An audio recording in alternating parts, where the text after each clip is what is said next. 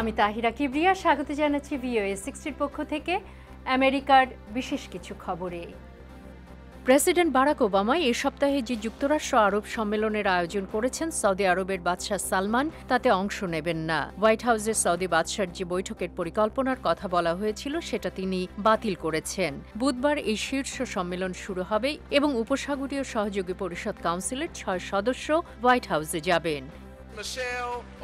First lady Michelle Obama Tuskegee বিশ্ববিদ্যালয়ের সমাবর্তন অনুষ্ঠানে ভাষণে বর্ণবাদ সম্পর্কে কথা বলেন। ফার্স্ট লেডি বলেন, আমরা বহুদূর এগিয়ে এসেছি। তবে এটা সত্যি যে অতীতের কিছু সমস্যা এতই কঠিন যে কাটিয়ে ওঠা যায় না। গ্র্যাজুয়েটদের উদ্দেশ্যে তিনি বলেন, সামনের দিকে এগিয়ে যাওয়ার জন্য তাদেরকে অবশ্যই ভোট দিতে হবে।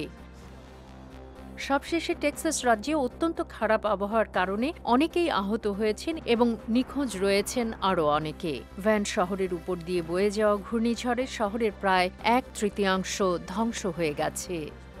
আজ এ পর্যন্তই। আবার দেখা হবে Tahira Kebria voice of America